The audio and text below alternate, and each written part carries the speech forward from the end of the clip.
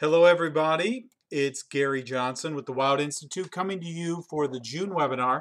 This particular month, we're going to be talking about overcoming objections. I hope you enjoyed Lynn from Dr. Bankhead's office. I think she did a wonderful job in the month of May describing her process and what they do in their very successful practice when it comes to kind of setting up that, that interview and having that initial exam with the patient. So I thought she did a really, really nice job kind of showing us everything. And what I want to do now is dive down a little deeper into one of those things, in my opinion, as good as your practice is at a lot of things, something that I think all of us need to get better at, and that is being prepared to overcome objections, things that come up in the course of an, an exam when we get to the end and talk about treatment that we need to be able to deal with. So we're going to talk about a few of those things today, and I want to I want to get into that with you.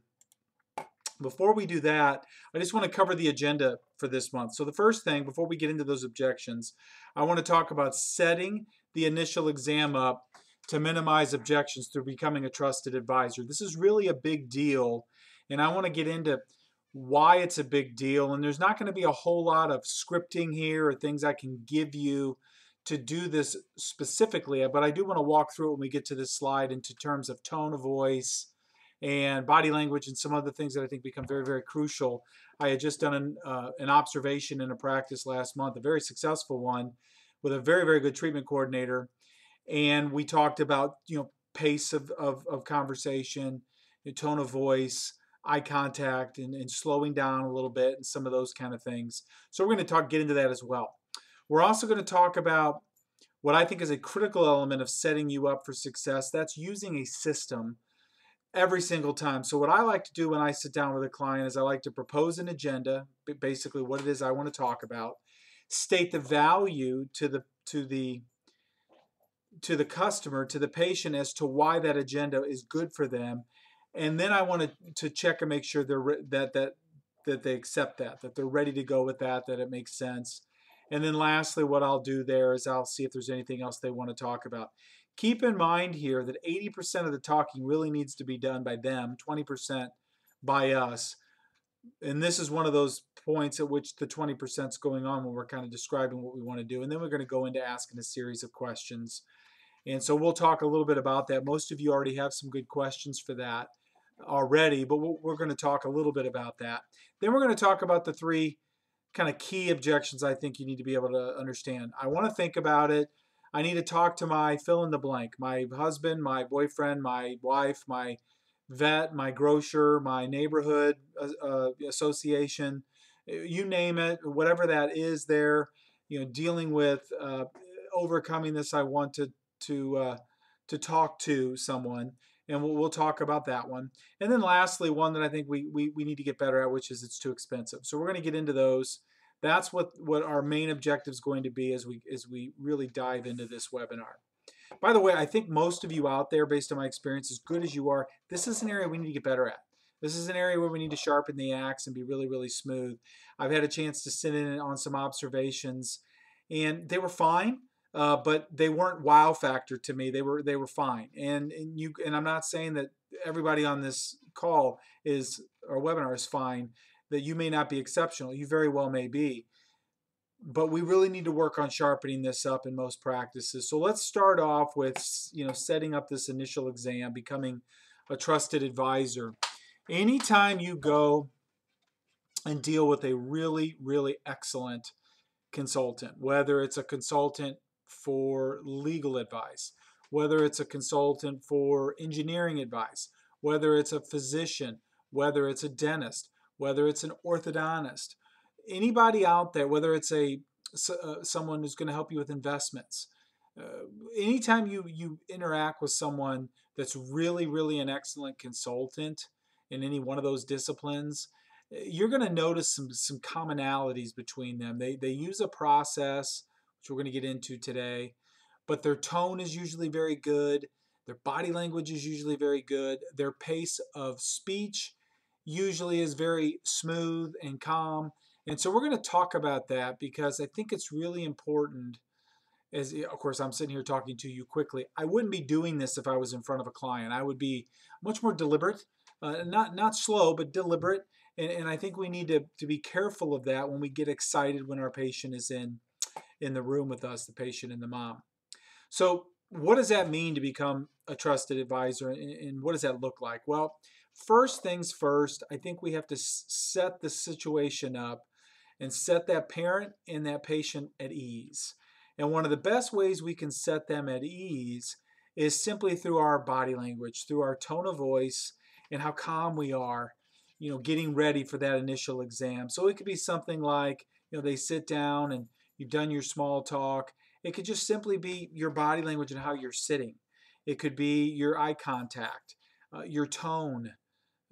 All those things are really, really important but we've really got to get them comfortable and i think they have to feel comfortable that that we're there to help them that we're not there to sell them and and believe it or not a lot of that just comes off with uh, our body language with the way our confidence sitting in the chair the tone of voice that we use the pace at which we speak as you see here on this slide. I think they're all really really critical and so for example if i was sitting across from a mom before i proposed my agenda you know, and talked about what we were going to talk about. I might make some small talk like all of you do. Hey, Mrs. Smith, thank you so much for coming in. You've made a really, really wise decision. Whether or not you decide to move forward today or not, you've made a really, really wise decision to come to Dr. XYZ. Doctor has an exceptional reputation has done great, great things in the marketplace in terms of creating beautiful smiles. So I just want to first compliment you on your decision to come here because I think you're going to be very impressed with Doctor's Chairside Manner. Now, what I just did there is I, I set them at ease. I complimented them on their decision. I said whether you decide to move forward or you don't. Eh, again, I, am not wanting them to feel pressured, and I think I want them to feel good about the decision to come here. And so I like saying something like that. So that's kind of the key as you're setting up to, to jump in. I particularly don't love a whole lot of small talk. Who cares about the weather and all that other stuff? To me, we don't have a lot of time. We got to jump in and get started.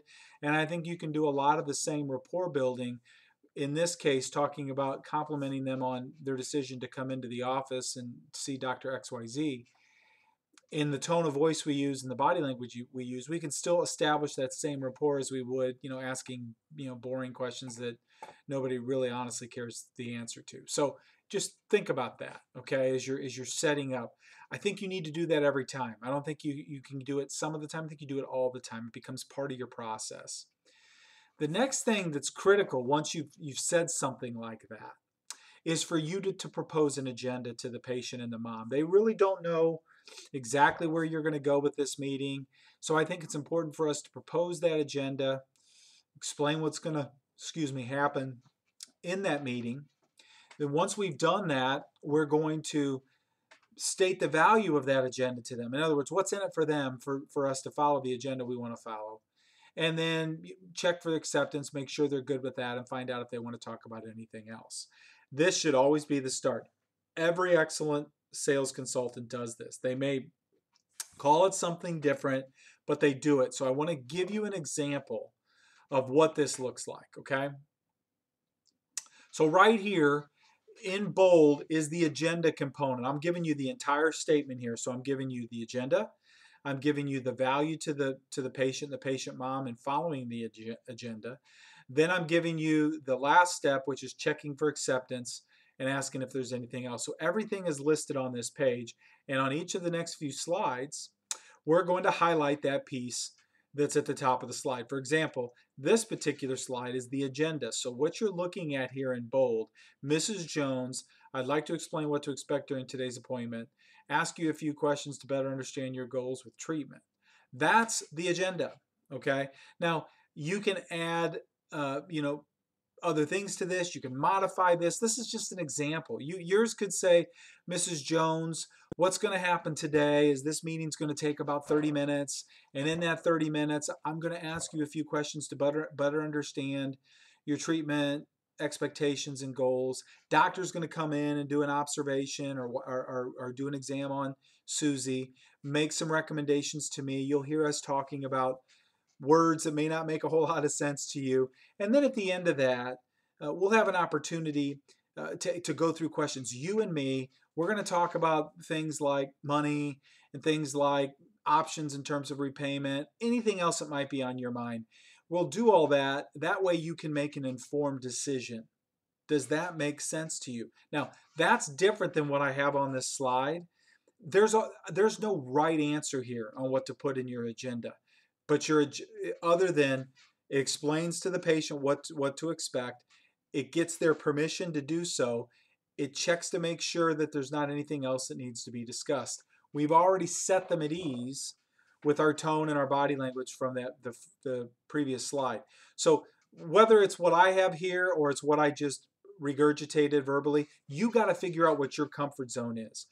But TCs, hear me, you've got to know this, and it's got to be something you can spit out without looking at a piece of paper. It has to feel natural. It has to be the same every single time or close to the same every single time if you want to be outstanding. If you want to wing it, you can get away with being nice and a smile. Are you going to still be successful? Yes. Are you going to be as successful as someone that follows this? Absolutely not. And this is what I'm talking about by picking up two or three patient starts a month. It's all these little subtle things. So in bold here again is the agenda. It says to the to the person what it is that's going to happen during the appointment. Okay, explains that to them. It then it does that clearly. So in this case, this says, Mrs. Jones, I'd like to explain what to expect during today's appointment. Now at that point, you may go ahead and explain, like I just did a minute ago. This is what's going to happen. A doctor's going to come in, do his exam, blah blah blah. I then would also like, before we get started, before doctor comes in, I would like to ask you a few questions to better understand your goals as it relates to treatment. However you want to say this, you've got to work this out. You've got to write it down. You've got to look at it. If you want my opinion on it, email me and say, Gary, here's kind of what I'm thinking of saying. We can go through it. But I think you need to nail this part down. And I think it's something you need to go over with the doctor once you've kind of written down what you want to say.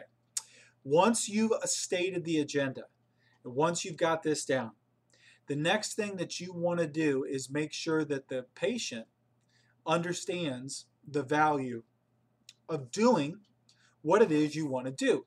And so that part is called stating the value. It's that simple. And in this particular slide, as you can see, what's in bold is the value statement. And the, the trigger words here, guys, that I like to use are the words that way. That way are trigger words for you to say after that way, that triggers you to go, I need to tell them what's in it for them. You know, their favorite radio station, WIFM. So in this case, Mrs. Jones, I'd like to explain to you what to expect during today's appointment.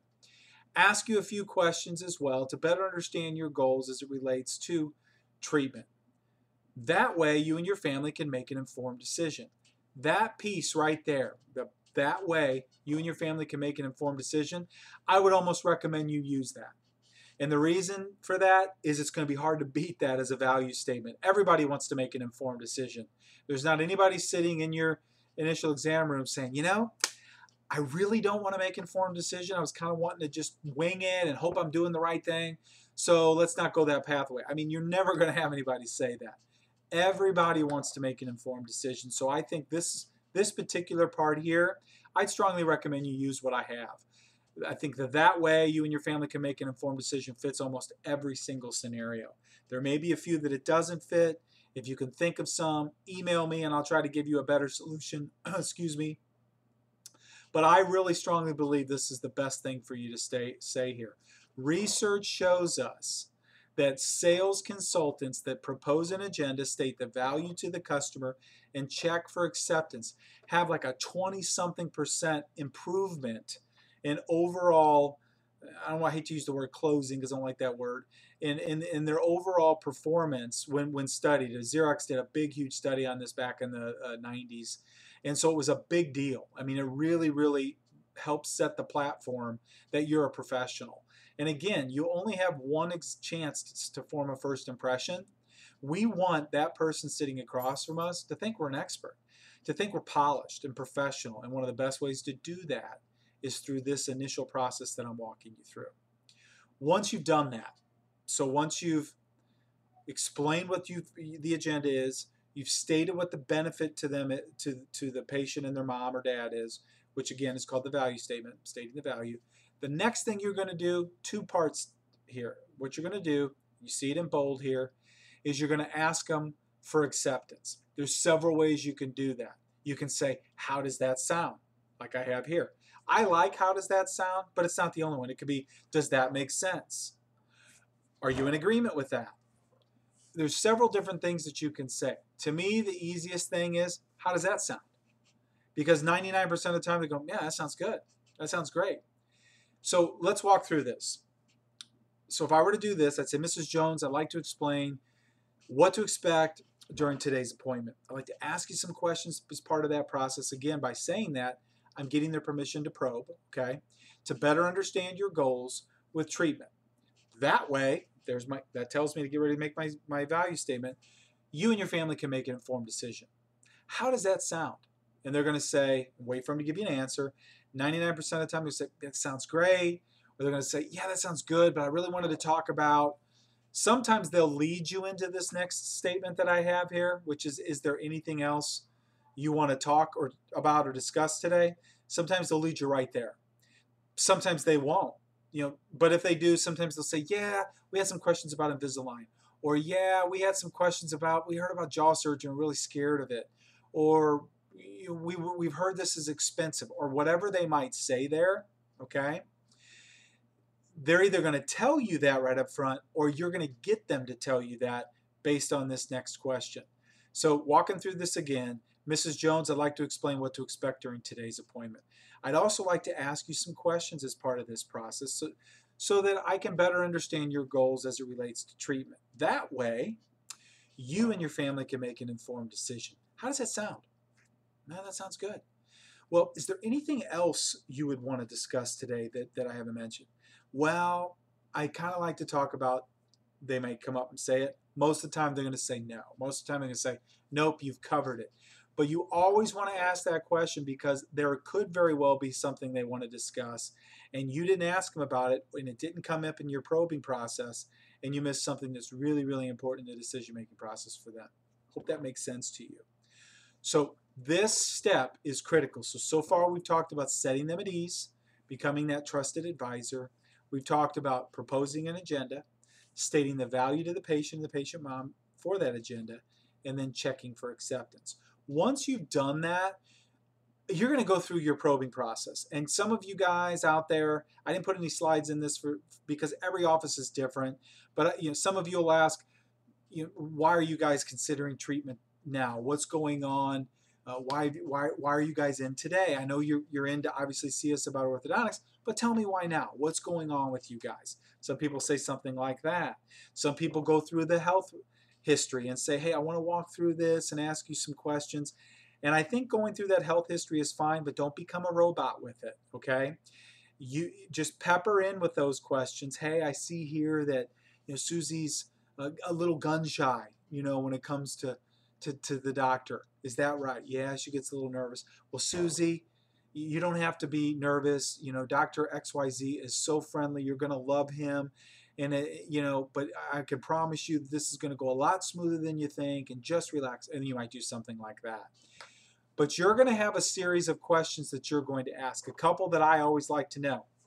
Have you been through this process before? Uh, I noticed that Dr. Smith referred you, right? Or how did you hear about us? I like, um, tell me what's going on with Susie's smile. Why are you guys thinking about orthodontic treatment now?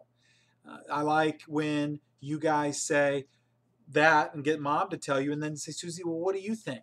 And, and what, what bothers you about your smile? And you guys ask the patient. So I'm not going to spend a lot of time on that because I think most of you do a really, really good job with those questions. But just remember, our goal is calm, smooth, good body language, trusted advisor, asking key questions that are going to help you understand your potential patient and their mom or dad's goals as it relates to treatment. That's the reason you're asking the questions that you're asking. How many should you ask? I don't know, three or four, five or six. I like three or four key questions. How'd you hear about us? You know, why have you guys been through this process before? why are you considering treatment now? What is it that, that you you know really would like to change about your smile, Susie or Johnny or whatever? Those are some key questions that I like. Here's another one I think is excellent. I heard this the other day. Other than yourself, Mrs. Smith, is there anybody else that will be involved in making this decision? And it's a great question. And they might say, yeah, you know, Susie's dad. And then you say, completely understand that. Have you and Susie's dad talked about this process at all? Or about the fact that you're considering orthodontics? And they're going to go, oh, absolutely. He knows. And he knows that, that this is something we really want to get done. Anyway, it arms you for one of those objections we're going to get into later, which is I want to talk to my what you know husband, my boyfriend, my veterinarian, my whatever. Okay. Really important to do this well. So let's say you've gone through this whole process, right? You've calmed them down. You've become a trusted advisor. You've uh, stated a, proposed an agenda, stated the value to the patient and the mom, checked for acceptance. You probed really well. You asked three or four really good questions that helped arm you, arm you with doctor. Then that's a point at which you're going to say, hey, I'm going to be right back. I'm going to go let doctor know we're ready. And that's a point at which you might arm doctor and say, Susie's afraid this is going to hurt. Uh, Mrs. Smith said she wants to, you know, the John is her husband is involved with the decision making process and and he knows that they're here. We're the third orthodontist they've been to, whatever. This is a chance for you to arm doctor before doctor comes in. So all that goes on. And again, at this point, I'm hoping you guys have a digital picture frame or the computer screen flashing before and after pictures. I have practices that use proof books. And I, and I like proof books. I think proof books are good because they, they're hands-on. And for those of you that don't know, you know, a proof book, you know, might look something like this. See if you can see that. It's like a book. Looks nice. It might have gold uh, lettering on it and it's something that you direct them to when you walk out of the room. It might be something like, "Hey, I'm going to be right back while I'm while I'm gone. Why don't you guys take a look at some of our before and after cases in here? I think this would be great for you to look at." And then you walk out. I've sat through an observation where they the treatment coordinator did that, and I'm sitting listening to mom and the and the daughter. Hey, that looks like my my friend Josie, and she her smile looked like that when she started, and they're kind of going through it together. It's it's a it's a very good way to occupy their time and reinforce to them why they're there. So I think that's really, really a good thing to do. So let's get into this I want to think about it part, okay?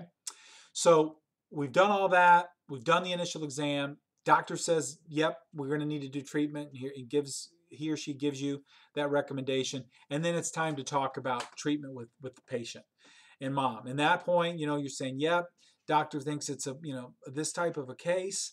And based on that, I wanted to walk you through some options as it relates to this treatment and the and, and the payment of the treatment.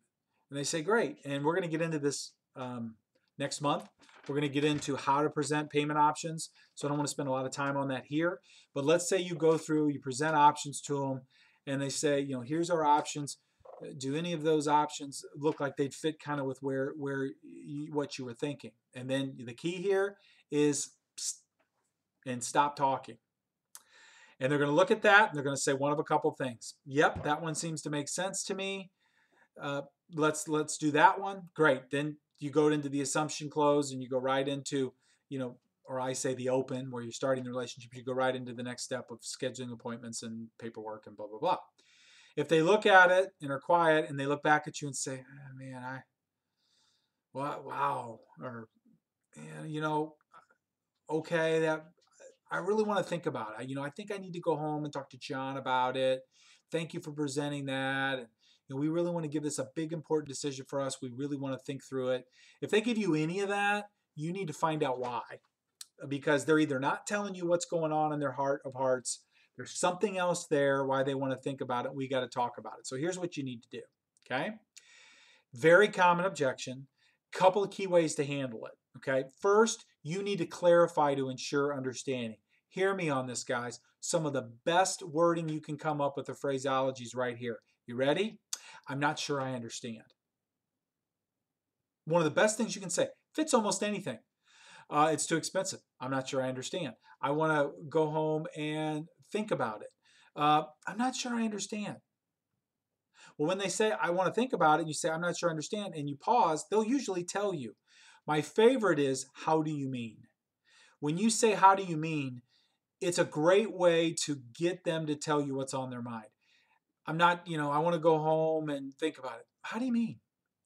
Well, you know, this was just a little bit more expensive than what we thought it was going to be. Well, they really didn't want to go home and think about it. What they just told you is it's too expensive. So they got to the next objection, which we're going to get into on the, on the next slide. But you need to clarify this, and the best way is by asking one of these two questions. Once you've done that, once they say, I'm not sure I understand, they go, Well, it's a really important decision. I don't like to make decisions overnight.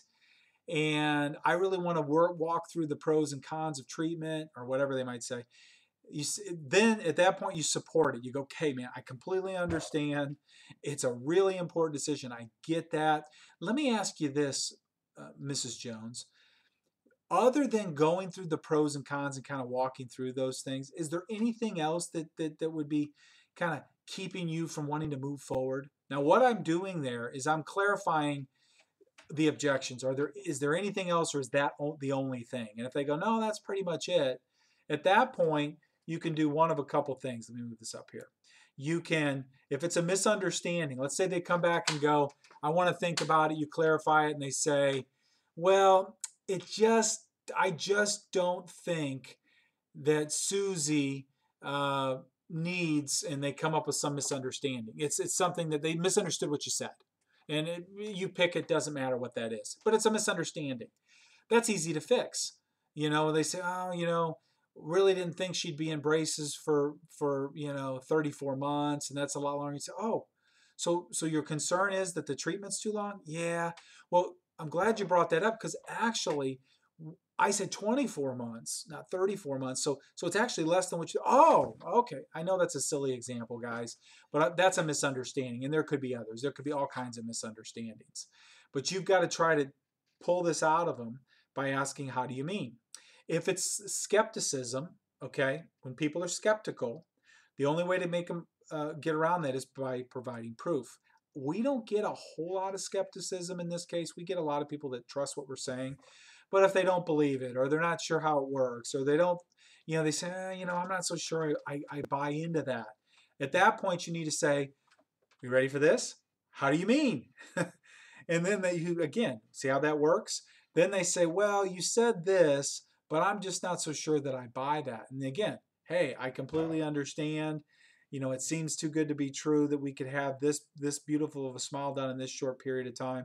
But the last four cases in which we've used Propel, this is what we have found.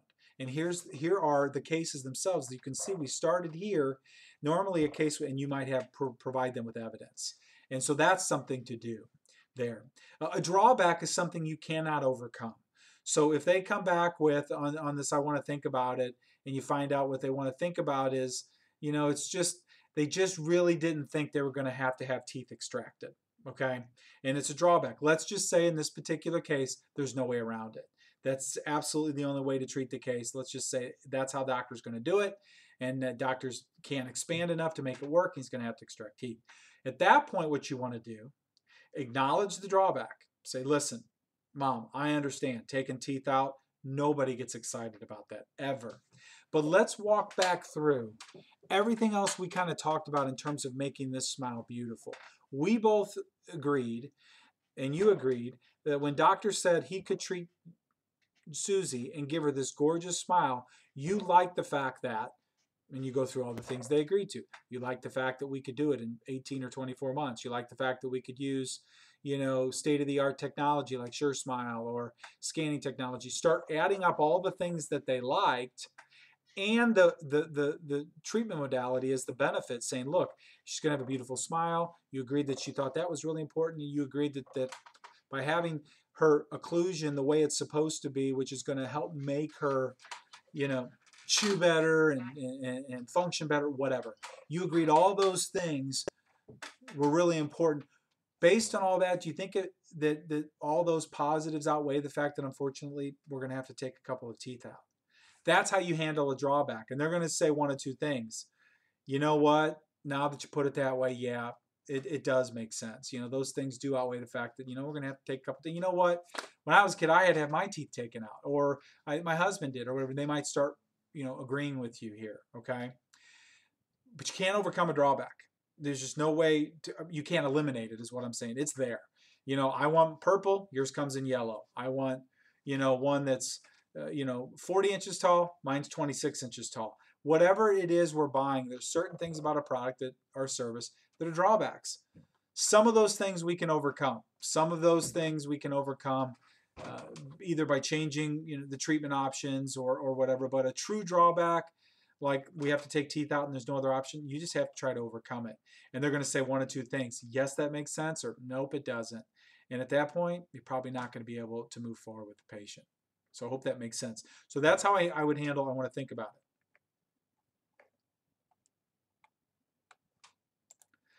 I need to talk to my blah, blah, blah. Here's the thing. I'm not going to spend a ton of time on this because I think Lynn did a great, great job.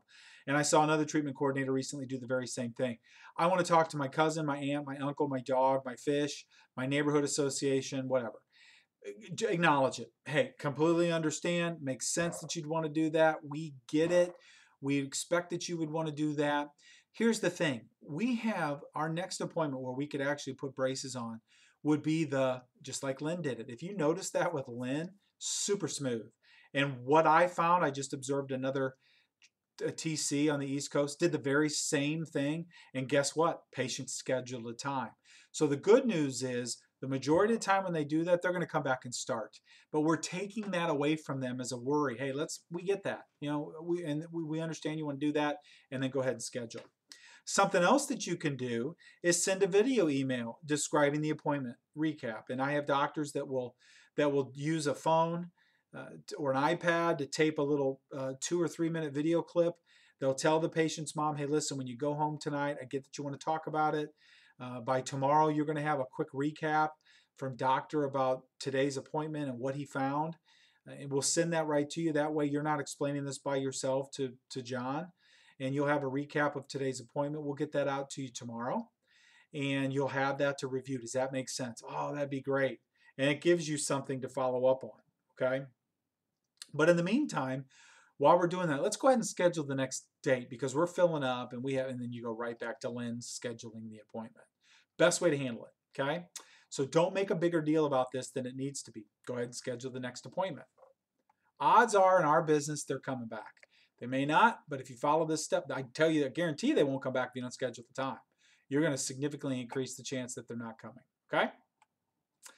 Big one here. Last one. It's too expensive. This one comes up, saw it last week on an observation, and I know this one can be a difficult one to work with and deal with because our our treatment isn't inexpensive. It is a fairly decent investment for most people, but it's affordable. And the way we do things in orthodontics, we make it as affordable as it can come. You know, payments and zero interest and all that other kind of stuff. So I want to get into this, okay? Here's what we do. Somebody says it's too expensive. Very common. Couple key ways to handle it, okay? Clarify to ensure. This is critical here. Hear me on this. Critical. How do you mean? And stop they're going to say one or two things or three things. Man, I just didn't expect the payments were going to be this high. They're going to say, oh man, that's a lot more down payment that I thought I was going to have to come up with. They're going to clarify this for you, okay? Determine if there's anything else. Mrs. Jones, other than affordability of the treatment, is there anything else that would keep you from wanting to, to go ahead and get these braces for Susie? And she's going to go, no, that, that's it say, well, let's talk about that. You said that the that the monthly payment was was higher than than you were expecting. What did you have in mind? I like to ask because if she says five dollars a month and we're at two twenty a month, well, you know what? We're not going to get there. If she says 175 a month and we're at 220, we might be able to get there. We are, are close. So I think it's good to try to get an idea from them what they were thinking. So I like to handle it by determining if we can, you know, with the payment, if we can structure it to reduce the monthly payment. Several ways to do it. We can extend the term or we can increase the down payment, right? Those are a couple things we can do. Most of you are familiar with that. But you've got to specifically find out what they mean by too expensive, okay? Down payment adjustments could be another way. If they're the down payment's too high, you know, they can't come up with that much, maybe you can split the down payment into into thirds. Maybe you can reduce the down payment from a thousand to 500 or 750 or from 750 to 500 and, and they can pay it over the next couple months or whatever. Look guys, in the majority of your practices, we don't have major collection problems. most people are going, 90% of your patients are going to pay you on time. And then out of that other 10, you might have to work on a few to get them, but most of you are going to have, you know, 95% of your patients pay out, okay? Even if there's some hiccups. So let's get aggressive. Let's be flexible. Uh, not only down payment adjustments and stretching term, but what about a graduated payment? Uh, I was in a practice the other day where someone had just bought a house and they were really worried about the payments. And the payments, I think, were like 189 a month. And she's like, man, you know, wow, I, it's more than I was thinking. She was thinking, you know, more like $100 a month would be affordable right now. Okay. Well, here's my question. Why couldn't we say, if, if we're willing to take the chance, say, listen, mom, I know things are going to be a little tight on you because you just bought this house and you're really trying to get your arms around how how expenses are going to lay out. Why don't we do this? Why don't we schedule this where the first six months are at $100 a month, then the next six months we'll set at $200 a month, and then the remaining 12 months we'll set at 250 a month or whatever. Why not do that? Why not get them started? What's the risk?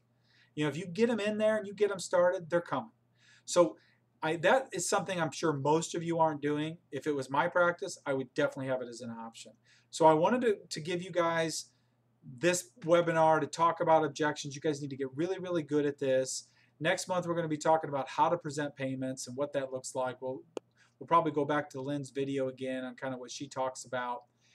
You know, maybe cut out a little section from that and then talk about how to present payments and what that kind of looks like. So have a great rest of your June, and I look forward to talking to you guys in July. Uh, we'll talk again soon. It's been Gary Johnson with the Wild Institute. Thank you so much.